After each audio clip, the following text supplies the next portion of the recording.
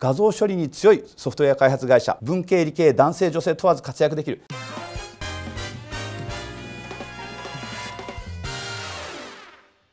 3分企業研究アット東京。今日は東京の会社をご紹介します。会社名こちら株式会社 M ソフトですね。IT ソフトウェアの開発会社ですね。本社は東京都台東区にある会社です。ポイントの1つ目画像処理に強い開発会社と書いてるんですがかなり幅広いソフトウェアを開発しています。例えば画像映像分野ですとかあるいは組み込みソフトあるいは通信系制御系アプリ開発といったですねかなり幅広いソフトウェアを開発してるんですがその中でも特にこの画像処理という分野に非常に強みを持ってます。例えば大手家電メーカーの、えプリンターですとかカメラの中の組み込みソフトを提供していたり、えあるいはレイブリッドというですね自社のオリジナル技術を、え持ってましてこれは何かというと後ろの絵がごちゃごちゃしていても、えちゃんと認識して、え髪の毛1本から、え抜くことができるというですね非常にこうハイレベルな技術を持っているそういった画像処理に強いのがこの M ソフトさんという会社の大きなポイントです。ポイントの2番目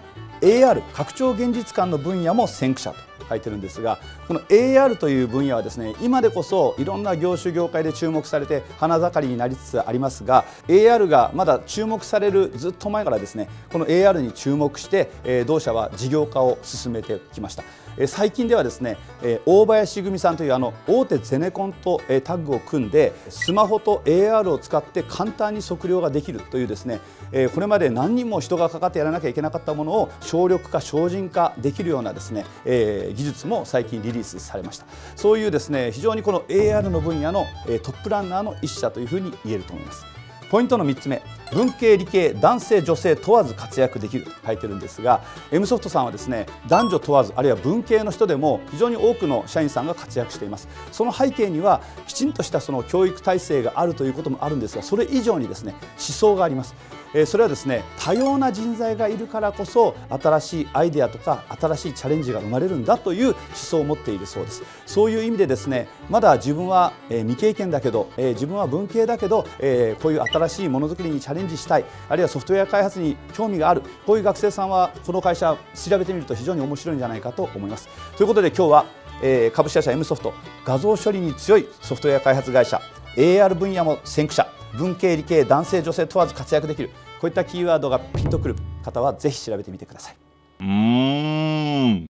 YouTube のご視聴ありがとうございました。私たちは企業専門のインターネットテレビ局として、え元気な会社、え社会に貢献している会社役に立つ会社面白い会社、えこういう会社を日々取材しこうやって YouTube を含めて発信しています。就職先を探してる、えいい会社が見つからない自分にはどんな会社が合うんだろうかこういうことに迷っている方がいらっしゃったら、え詳しくはこの動画の説明欄からご覧になってください。